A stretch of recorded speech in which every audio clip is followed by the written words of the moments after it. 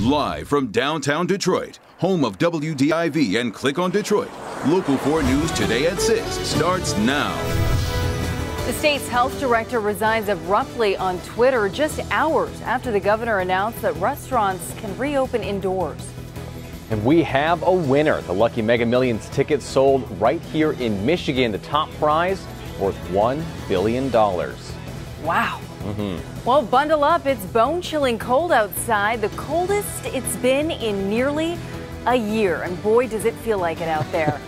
Good morning. It's 6 o'clock. I'm Priya Mann. And I'm Grant Hermes. Thanks for joining us here this morning, a Local 4 News today. So, this was the Michigan winter I was promised. And honestly, it lives up to the hype. I'm not going to lie. Okay, first of all, though, we, we haven't even touched on the snow yet, so I think you need to walk that back a little. But speaking of walking, how brisk was your walk in today? It was really, really brisk today. I did not wear the right scarf, Andrew, and it, it was a real problem. Uh oh. uh, well, you have time to go ahead and change it if you like, but yeah, make sure you have the appropriate attire, everybody. Don't forget your scarf, your hat, your gloves, and of course your winter coat before heading out.